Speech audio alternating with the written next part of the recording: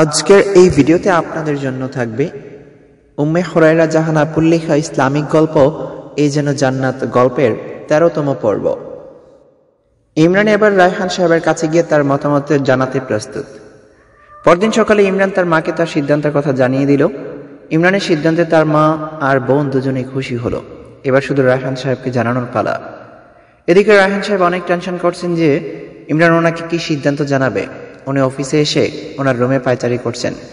এর মধ্যে ইমরান দরজার সামনে দাঁড়িয়ে সালাম দিয়ে বলল, স্যার, আসতে পারি? রায়হান সাহেব সালামের জবাব দিয়ে বললেন, আরে ইমরান, এসো এসো। তোমার জন্য এতক্ষণ ধরে অপেক্ষা করছিলাম। কেমন আছো? আলহামদুলিল্লাহ আল্লাহ রহমতে ভালো আছি। আপনার শরীরটা কেমন আছে, স্যার? আলহামদুলিল্লাহ, আমি আল্লাহ রহমতে ভালো আছি। তা বাবা, কালকে যে বিষয়টা সম্পর্কে তোমার সাথে কথা বলেছিলাম, সেটার ব্যাপারে কি সিদ্ধান্ত নিলে? তোমার মায়ের সাথে কথা বলেছ?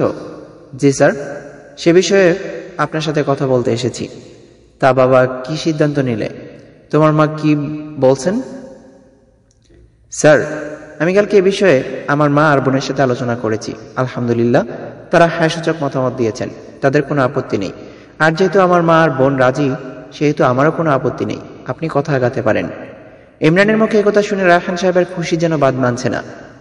উনি সাথে সাথে আলহামদুলিল্লাহ বলে উঠলেন, আলহামদুলিল্লাহ আলহামদুলিল্লাহ। আমি জানতাম, আমার আল্লাহ আমাকে নিরাশ করবেন না। আর তোমার উপরও আমার পূর্ণ আস্থা ছিল, বাবা। এবার বলো, ইউসাকে তোমরা কবে দেখতে যাবে? আপনাদের যেদিন সুবিধা, সেদিনই যাব ইনশাল্লাহ আজ তো বুধবার। তাহলে আগামী শুক্রবার আমার বাসায় তোমাদের নিমন্ত্রণ রইল, বাবা। তুমি তোমার মা আর বোনকে নিয়ে ইউসাকে দেখে যাবে ইনশাল্লাহ তবে স্যার, একটা অনুরোধ, বেশি কিছু আয়োজন করতে হবে না। ওটা নিয়ে তোমাকে ভাবতে হবে না বাবা। তোমরা প্রথমবারের মতো আমাদের বাসায় যাবে, আর সেজন্য সামান্য একটু খাবার দাবারের আয়োজন করব না? সেটা কি করে হয়? আচ্ছা ঠিক আছে। তবে বেশি কিছু করতে যাবেন না। ইমরান রাহান সাহেবের সাথে আরও কিছুক্ষণ কথা বলে সেখান থেকে চলে গেল। ইমরান অফিস থেকে বাসায় ফিরে তার মা আর বোনকে জানিয়ে দিল যে রায়হান সাহেব শুক্রবারে ইউসাকে দেখতে যাওয়ার জন্য ওনার বাসায় তাদেরকে নিমন্ত্রণ করেছেন। তাই শুক্রবারে জুমার নামাজ পর তারা ইউসাকে দেখতে যাবে। ইমরানের মা ইমরানের বড় বোনকে ইমরানের বিয়ের ব্যাপারে জানালো। সেও হ্যাসূচক মতামত দিল। পাত্রী দেখতে আসতে পারবে না বলে জানিয়ে দিল সে। এর জন্য তার মন খারাপ। কিন্তু বিয়ে ঠিক হলে অবশ্যই বিয়ে আগেই চলে আসবে বলেই জানিয়ে দিল। রায়হান সাহেব ইউসাকে গিয়ে বলল, শুক্রবারে তাকে পাত্রপক্ষ দেখতে আসবে। আর তিনি স্পষ্টভাবে জানিয়ে দিলেন যে, আগের পাত্রপক্ষের সামনে যা যা করেছে, এবার যাতে সেগুলো ভুলেও না করে। তাহলে কিন্তু ওনার চেয়ে খারাপ আর কেউ হবে না। শুক্রবার ইউসাকে পাত্রপক্ষ দেখতে আসবে শুনে ইউসা মনে মনে কিছুটা রেগে গেল। তাই সে তার বাবাকে কিছুটা রাগি কণ্ঠে বলল, পাত্রপক্ষ দেখতে আসবে মানে? তুমি তো আমাকে আগে কিছু বলনি। আর আবার আমার মতামত না জানিয়ে তুমি পাত্রপক্ষকে আসতে বলে দিয়েছ? আগে বলিনি তো কি হয়েছে? এখন তো জানাতে, জানতে পারলি। তাই কোনো প্রকার ঝামেলা না করে শুক্রবারে লক্ষ্মী মেয়ের মতো থাকবি, মনে থাকে যেন। পাত্রের নাম কি? কি করে? বাড়ি কোথায়? কিছুই তো জানি না। এভাবে হুটহাট করে দেখতে আসলে বললেই হলো নাকি বাবা? এখন কিছুই জানতে হবে না। যেদিন দেখতে আসবে, সেদিন সব জানতে পারবি। আর যেহেতু ঠিক করেছি, সেহেতু সব কিছু দেখে শুনে আর বুঝেই ঠিক করেছি। তাই আমি কোনো ঝামেলায় যাচ্ছি না। শুক্রবারে যেন তুই ভালো মেয়ের মতো থাকিস, এ আমি বলে দিয়ে গেলাম। এই বলে রায়হান সাহেব ইউসার রুম থেকে চলে গেল। এদিকে ইউসা রেগে মেগে নাগিনের মতো যেন ফোনা তুলছে। আর মনে মনে বলছে, শুধু একবার আসতে দাও না পাত্রপক্ষকে। বাকিগুলোকে যেভাবে ভয় দেখিয়ে বিয়ে ভেঙেছি, এটাও ঠিক সেভাবেই ভয় দেখাবো। আমাকে তো চিনো না যে আমি কি জিনিস, আসুক না, পরে মজা বুঝব। আমাকে বিয়ে করার স্বাদ একেবারে মিটিয়ে দিব। এই বলে একগাল হাসি দিল ইউষা ঈশিতাকে ফোন করে সব জানিয়ে দিল, আর শুক্রবারে যাতে সময় মতো চলে আসে সেটাও বলে দিল। কিন্তু ইউসা তো জানে না যে আগামী শুক্রবার তার জন্য কি অপেক্ষা করছে। আজ শুক্রবার, আর ইমরান তার বোন আর মাকে নিয়ে ইউষাকে দেখতে আসবে। ঋতু বেগম আর রহিমা খালা মিলে দুপুরের খাবারের আয়োজন করছে। যেহেতু দুপুরের টাইমে মেহমান আসবে, আর এদিকে ঈশিতাও এসে হাজির ইউসার কাছে। ইউসা আর ঈশিতা মিলেই প্ল্যান করছে যে আগে যেমন করে সব পাত্রকে ভয় দেখিয়েছে, ঠিক আজকেও তারা এই পাত্রকে ভয় দেখিয়ে বিয়ে ভাঙাবে। কিন্তু তাদের এইসব প্ল্যানে জল ঢেলে দিয়ে রায়হান সাহেব এসে হাজির ইউসার রুমে। বাবাকে দেখে বিছানা থেকে উঠে এসে দাঁড়াল ইউসা কি ব্যাপার বাবা? কিছু বলবে? হ্যাঁ তোকে কয়েকটা কথা বলতে এসেছি। হুম, বলো। আজ পাত্রপক্ষের সামনে বেশি সেজেগুজে যেতে হবে না, নর্মালি সাজবে। মেকআপ করার কোনো প্রয়োজন নেই, একটা থ্রি পিস পরবে, আর মাথা থেকে কাপড় যেন না সরে। ও হ্যাঁ আরেকটা কথা। আজ শুধু পাত্র, পাত্রের মা আর ছোট্ট বোন আসবে। তাদের সাথে অন্য কোনো পুরুষ থাকবে না। তাই আজকে তোমাকে সবার সামনে ড্রয়িং রুমেই যেতে হবে। সেখানেই সব কথা হবে। আর আজ যেন কোনো ঝামেলা না হয় বলে দিলাম। কিছুক্ষণের মধ্যে ওনারা চলে আসবেন। আমি নিচে যাচ্ছি, আর যা বললাম তা যেন মনে থাকে। এই বলেই রায়হান সাহেব সেখান থেকে চলে গেলেন। বাবার মুখে এইসব কথা শুনে ইউষার মাথায় যেন আকাশ ভেঙে পড়ল। ঈশিত আর ইউষা একে অপরের দিকে তাকিয়ে হাঁ হয়ে আছে। কেউ কোনো কথা বলছে না, নীরবতা ভেঙে ঈশিতা বলে উঠল, এবার কি হবে রে ইউষা আঙ্কেল তো আমাদের সব প্ল্যানে জল ঢেলে দিল রে। অন্য সময় তো পাত্র তোকে তোর রুমে দেখতে আসতো। বলি তুই তাদেরকে উল্টাপাল্টা কিছু একটা বলে থ্রেড দিয়ে বিয়ে ভেঙে দিতি। এবার কি হবে? আঙ্কেল তো তোকে ড্রয়িং রুমে সবার সামনে যেতে হবে বলে গেলেন। এবার কি হবে? আমার মাথা কাজ করছে না, দোস্ত। এবার আমি কি করব? কিছু একটা ভাব। আমার মাথাও কাজ করছে না ইউষা এবার হয়তো সবকিছু আমাদের হাতের নাগালের বাইরে চলে যাবে। কিছু করার নেই। আঙ্কেল যেভাবে বলছে, সেভাবেই তৈরি হয়ে নে আর কোনো উপায় নেই। একটু পরেই মেহমান চলে আসবে, তাড়াতাড়ি তৈরি হয়ে নে আর মনে মনে আল্লাহকে ডাক, যাতে বিয়েটাও কোনো মতে ভেঙে যায়। রাগে ইউষা কাঁদতে মন চাইছে। দু চোখে পানিতে টলমল করছে। আর কোনো উপায় না পেয়ে ইউষা তার বাবার কথা মতো একটা লাল টুকটুকে থ্রি পিস পরে নর্মালভাবে হালকা একটু লিপস্টিক আর চোখে কাজল দিয়ে সেজে নিল। ভারী মেকআপ আর ওয়েস্টার্ন ড্রেসের থেকে এই লাল টকটকে থ্রি পিস আর হালকা সাজেই যেন অপূর্ব সুন্দর লাগছে ইউষাকে এই সাজে ইউষাকে দেখে ঈশিতা বলে উঠল, বাহ, দোস্ত, তোকে তো আজকে অনেক সুন্দর লাগছে। তোকে তো থ্রি পিস পরতে কোনো সময় দেখি না। সবসময় তো ওয়েস্টার্ন ড্রেসই পরিস। এই হালকা সাজ আর লাল থ্রি পিসটাতে তো দারুণ লাগছে। দেখি দেখি, মাথায় অন্যটা দে তো। একদমই, বউ বউ লাগবে। ইউষা কিছুটা বিরক্ত হয়ে বলল, আমি বাঁচি না আমার জ্বালায়, আর তুই বলছিস অন্য মাথা দিয়ে বউ সাজতে? আমার তো রাগে কাঁদতে ইচ্ছা করছে। দোস্ত, আমার তো আজকে ভয় লাগছে রে। কেন? তোর আবার কি হলো? তোকে আজকে যে পরিমাণ সুন্দর লাগছে, পাত্র তো তোর দিক থেকে নজর সরাতেই পারবে না। তোকে যদি পছন্দ করে যদি বিয়েতে হ্যাঁ বলে দেয়, তখন কি হবে? আর আমার মনে হচ্ছে, এবার যদি পাত্রপক্ষ রাজি থাকে, তাহলে আঙ্কেল তোকে এর সাথে বিয়ে দিয়েই দিবে। কারণ এর আগে সবগুলো বিয়ে তুই ভেঙেছিস। এবার হয়তো এই পাত্রকে আঙ্কেল হাতছাড়া করবে না। কারণ আঙ্কেল হয়তো পাত্রের সম্পর্কে সব জেনে শুনেই তাকে সিলেক্ট করেছেন। এমনিতেই টেনশনে মরে যাচ্ছি, আর তুই এইসব বলে বলে আমাকে ভয় দেখাচ্ছিস? তুই আমার বেস্ট ফ্রেন্ড নাকি শত্রু রে? আচ্ছা ঠিক আছে, এসব আর বলব না। দয়া করে এই বিয়েটাও যাতে ভেঙে যায়। একদম হাসবি না বলে দিলাম। ঘুষিতে নাক ফাটিয়ে দিব বলে রাখলাম। ওরে আমার গন্ডি বান্ধবী রে। আচ্ছা ঠিক আছে, হাসবো না। হাসবো না বলেও ঈশিতা হেসেই চলছে। ইউসা আবার রেগে গিয়ে বলল, ওই, তোকে না হাসতে বারণ করছি? তবু হাসছিস কেন? আমি কি করব? আমার হাসি পাচ্ছে। তবে রে। ওইদিকে ইমরান তার মা আর বোন নিকটাকে নিয়ে হাজির হয়ে গেল রায়হান সাহেবের বাসায়। আজ ইমরান সাদা পাঞ্জাবি, পাজামা আর সাদা টুপি পরে এসেছে। পাঞ্জাবির ওটার উপর একটা সাদা রঙের কোটিও পড়েছে। ইস কি যে সুন্দর লাগছে ইমরানকে। রায়হান সাহেব তাদেরকে ড্রয়িং রুমে নিয়ে বসতে দিলেন।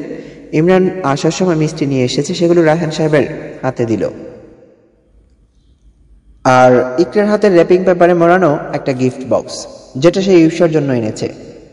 রায়হান সাহেব রহিমা খালাকে বললেন, নাস্তার ব্যবস্থা করতে বলেই মেহমানদের সাথে কথা বলছেন। ঋতু বেগম ভালো মতো হিজাব পরে এসে ড্রয়িং রুমে বসলেন। ইমরানকে এক নজর দেখে ওনার খুব পছন্দ হলো। ওই দিন তাড়াহুড়োর মাঝে হসপিটালে ইমরানের দিকে সেভাবে লক্ষ্য করেননি তিনি। আজ তিনি ইমরানকে ভালো করে দেখলেন। ঋতু বেগম, ইমরানের মা আর বোনের সাথে কথা বলছেন। এর মাঝে রহিমা খালা টুকটাক নাস্তা নাস্তা নিয়ে এসেছে। রায়হান সাহেব রহিমাকে দেখে বলল, রহিমা, যাও। ইউসকে ওর রুম থেকে এখানে নিয়ে আসো। আমি এখনই যাইতেছি, খালুজান। গিয়ে আপামনিরে নিয়ে আইতাছি। এই বলে রহিমা দৌড়ে ইউসার রুমে চলে গেল।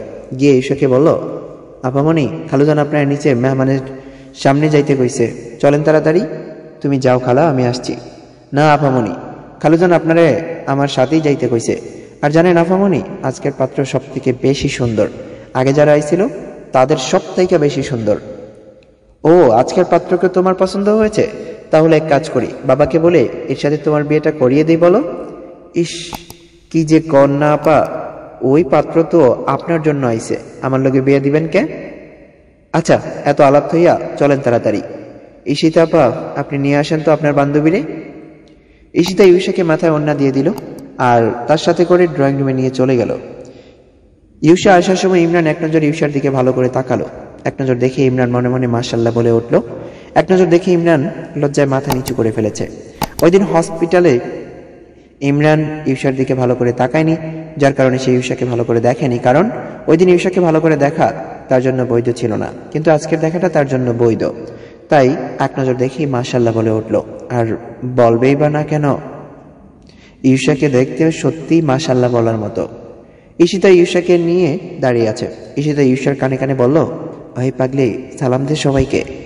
ইউসার মন না চাইলেও বাধ্য হয়ে সালাম দিতে হলো।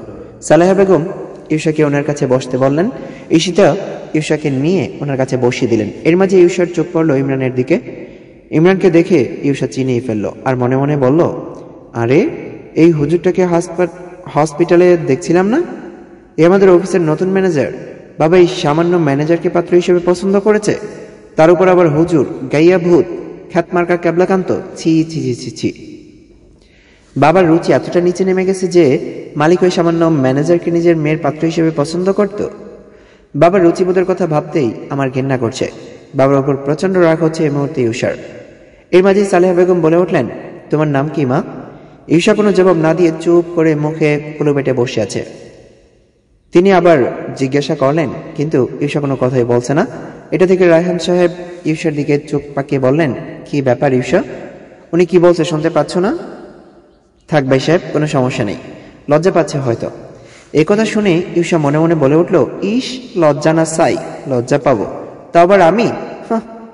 সালেহ বেগম আর কিছু জিজ্ঞাসা করলেন না ইউসাকে ইউসাকে দেখে ওনার খুব পছন্দ হয়েছে, তাই আর বাড়তি কিছু জিজ্ঞাসা করলেন না, কারণ তিনি ঈর্ষার সম্পর্কে আগে থেকে সব কিছু জানেন। আচ্ছা মা, তুমি এখন আসতে পারো। আমার আর কিছু জিজ্ঞাসা করার নেই। এই মুহূর্তে ইকরা ইউসার কাছে এসে তার হাতে থাকা গিফট বক্স বক্সটা ইউসাকে দিয়ে বলল এটা নাও আপু, এটা তোমার জন্য। ইউসা অনিচ্ছা সত্ত্ব বক্সটা হাতে নিল, নিয়ে সেখান থেকে হন করে বেরিয়ে নিজের রুমে চলে গেল। ঈশিতা ও ঈশ্বর পিছু পিছু তার রুমে গেল। ঈশ্বর রুমে গিয়ে মাথা থেকে অন্যটা হ্যাচকা টান দিয়ে খুলে ফেলল আর হাফ ছেড়ে বিছানায় বসে বলল, উফ, এতক্ষণ দমটা বন্ধ হয়ে আসছিল ওইখানে। ওদের এইসব আদিক্ষেতা দেখে শরীরটা চলে যাচ্ছিল আর আমি ভাবছি, বাবার রুচি নিয়ে। কি করে পারল অফিসের সামান্য একটা ম্যানেজারকে তার উপর দাড়িওয়ালা হুজুরকে আমার জন্য পছন্দ করতে? বাবার কি এতটুকু জ্ঞান নেই যে আমি এইসব হুজুর টুজুর দাঁড়িয়েওয়ালা দু চোখে সহ্য করতে পারি না। কত নিচে নেমে গেছে বাবার রুচিবোধ। উঠে পড়ে লেগেছে হুজুর ছেলের সাথে আমাকে বিয়ে দিতে। দুনিয়াতে কত স্মার্ট স্মার্ট ছেলে রয়েছে। ওদের কাউকে কি বাবার চোখে পড়ে না? যত সব মেজাজটা একদম খারাপ হয়ে যায়। এর মধ্যেই সেটা বলে উঠল, সত্যিই তো, আঙ্কেলের চোখে কি হুজুর ছেলে ছাড়া আর কোনো ছেলে চোখে পড়ে না? আজ পর্যন্ত যতগুলো পাত্র তোকে দেখতে এসেছে, সবগুলো হুজুর। আমার বাবা তো জীবনও এমন হুজুর ছেলে পছন্দ করব না। রাগে আমার মাথাটা ফেটে যাচ্ছে রে সেটা। আচ্ছা বাদ দে। ওই মেয়েটা যে তোকে গিফট বক্সটা দিল, খুলে দেখ তো, এটার মধ্যে কি আছে? আমি পারব না, তোর ইচ্ছা থাকলে তুই খুলে দেখ। আচ্ছা ঠিক আছে, আমিই খুলছি। এই বলেই সে তার গিফট বক্সটা খুললো। খুলে দেখে এটার মধ্যে চারটা বই। তো আবার কোনো উপন্যাস বা কবিতার বই না, সবগুলো ইসলামিক বই। ঈশিতা বইগুলো হাতে নিয়ে বলল ধ্যাত আমি কি ভাবলাম কি না কি গিফট দিল? কিন্তু এখন তো দেখছি এগুলো বই, তাও আবার ইসলামিক বই। আজকাল পাত্রী দেখতে এসে কেউ এসব বই গিফট দেয়, তাও আবার ইসলামিক বই? How cheap. এগুলো দেখে তো রেগে ফায়ার। রাগে ফসতে ফসতে বলল, দেখ আমার বাবার চয়েস করা পাত্রের কাণ্ড। পাত্রী দেখতে এসে কেউ এইসব বই গিফট দেয়। আমার তো মন চাইতেছে বইগুলো দিয়ে ওই ক্যাবলাগাতের মাথায় গিয়ে দু চারটা বাড়ি মারি। ঈশ্বর এমন কথা শুনে ঈশিতা হাসতে হাসতে বিছানায় গড়াগড়ি খেতে লাগল। এদিকে ইমরান সালেহ বেগম আর ইকরা ইউসাকে খুব পছন্দ হয়েছে, তারা এই বিয়েতে রাজি। সালেহ বেগম রায়হান সাহেবকে বললেন, দেখুন ভাই সাহেব, যেহেতু ইমরানের বাবা নেই, তাই আমি ওর গার্জিয়ান সব কথা আমাকেই বলতে হবে। আর আপনাদের মেয়েকে আমাদের পছন্দ হয়েছে। আপনাদের যদি কোনো আপত্তি না থাকে, তাহলে আমরা এই বিয়েতে রাজি। কথা শুনে রায়হান সাহেব বললেন, আলহামদুলিল্লাহ। আমাদের কোনো আপত্তি নেই। তাহলে বিয়ের তারিখ ফাইনাল করা হোক। যত তাড়াতাড়ি সম্ভব বিয়েটা হলেই ভালো হয়। তাড়াতাড়ি কথা শুনে সালেহা বেগম বললেন, ভাই সাহেব, আপনি হয়তো আমাদের অবস্থা সম্পর্কে জানেন। বেশি তাড়াতাড়ি করলে তো সব কিছুর আয়োজন করতে একটু আরে আপা, আপনি একদম চিন্তা করবেন না। বিয়ে, মহারানা সব কিছু আপনাদের শব্দের মধ্যেই করা হবে। বিয়েতে আমিও চাই না বাড়তি কোনো আয়োজন হোক। সব কিছু সুন্নতি তরিকায় হবে। সুন্নতি তরিকায় মসজিদে বিয়ে পড়ানো হবে। আর মহারানা ইমরানের যতটুকু সাধ্য ততটুকুই ধরা হবে। আপনি এইসব নিয়ে কোনো চিন্তা করবেন না। আলহামদুলিল্লাহ। তাহলে তো খুব ভালোই হয়। তাহলে বিয়েটা তাড়াতাড়ি সম্পন্ন করা হোক। আমার কোনো আপত্তি নেই। আরও নানা বিষয়ে আলোচনা করে করে আগামী সপ্তাহের শুক্রবারে ইমরান আর ইফসার বিয়ের তারিখ ঠিক করা হলো। সব কিছু ঠিকঠাক করে ইমরানরা বিদায় নিল। মেহমানরা চলে যাওয়ার পর ঋতুর বেগম রাহাত সাহেবকে বললেন আচ্ছা তুমি যে ইউসার কোনো মতামত না নিয়েই সব কিছু ঠিকঠাক করে ফেললে, এটা কি ঠিক হয়েছে? ঠিক হয়নি মানে? একদম ঠিক হয়েছে। আমি যা করেছি ঈশ্বর ভালোর জন্য করছি। আর আমার কথাই শেষ কথা। আমি ওনাদেরকে কথা দিয়ে দিয়েছি। সুতরাং ইমরানের সাথে ঈশ্বর বিয়ে হবে। যাও ইউসাকে গিয়ে সব কিছু জানিয়ে দাও। ঋতু বেগম আর কোনো কথা না বাড়িয়ে ইউসার রুমে গেলেন। ঈশিতা একটু আগেই চলে গেছে। তাই ইউসার রুমে একা বিছানায় গায়ে এলিয়ে দিয়ে কানে ইয়ারফোন গুজে গান শুনছে চোখ বন্ধ করে। ঋতু বেগম ইউসার পাশে গিয়ে বসলেন। মায়ের উপস্থিতি টের পেয়ে ইউসার চোখ খুলে কান থেকে ইয়ারফোনটা খুলে তার মাকে বলল, কি ব্যাপার মা? মেহমান কি চলে গেছে? হুম, সবাই চলে গেছে। ঈশা তার মাকে জড়িয়ে ধরে বলল, মা এই ছেলেকে আমার একদম পছন্দ হয়নি। এমন দাড়িওয়ালা হুজুর আমার পছন্দ না। বাবাকে বলে দিও, ওদেরকে যাতে না করে দেয়। ঋতু বেগম দীর্ঘশ্বাস ছাড়ে ঈশার মাথায় হাত দিয়ে বললেন, তার সম্ভব না রে মা। তোর বাবা ওদেরকে কথা দিয়ে ফেলেছে, আর বিয়েও ঠিক করে ফেলেছে। আগামী শুক্রবার তোর বিয়ে ইমরানের সাথে। মায়ের মুখে কথা শুনে ইউসা এক ঝটকায় মায়ের কোল থেকে সরে দাঁড়িয়ে পড়ল। কথা শুনে পা থেকে মাথা অবধি পুরো শরীর যেন ঈশ্বর বরফ হয়ে গেল।